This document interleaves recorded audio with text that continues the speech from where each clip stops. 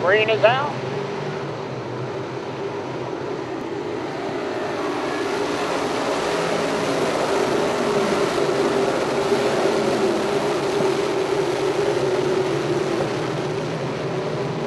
Ah, no, no! We got two of them hooked together on the back straightaway. That'll bring out the caution. Todd Marburger making a run.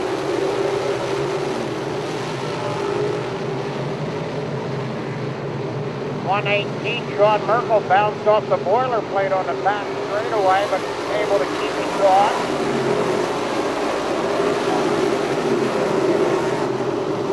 He is okay, and that's the important thing after taking a hard hit in the wall.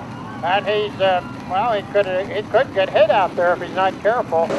Howard with the four up there in the number two spot, putting the pressure on the leader. Senior with the 20, making a strong run on the outside. John Kellner Sr. with the Baines Roofing number 20, making a run toward the front, and John Kellner Sr. takes over the top spot. Here's Duane Howard. Howard making a run for the top spot. Howard down low. Kellner on the outside. Howard gets the edge. They are glued together over there in turn number three. John Kellner's going to be a little bit stronger though, and Kellner takes him down the main chute.